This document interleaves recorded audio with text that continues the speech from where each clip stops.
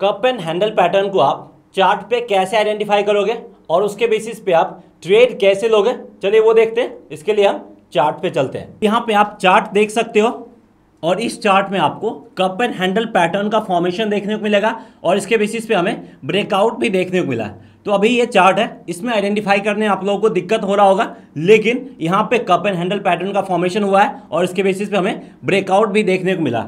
अब देखिए, अब आप यहाँ पे काफ़ी आसानी से कप एंड हैंडल पैटर्न के फॉर्मेशन को देख सकते हैं। यहाँ पे आपका सबसे पहले ये आपका नेक लाइन बना है, उसके बाद यहाँ पे ये आपका कप बना है, उसके बाद ये आपका हैंडल बना है और यहाँ पे नेक लाइन को ब्रेक करके ऊपर निकला, यहाँ पे हमें ब्रेकआउट देखने को मिला है। तो इस तरीके से आप कप एंड हैंडल पैटर्न को आइडेंटिफाई कर सकते हो।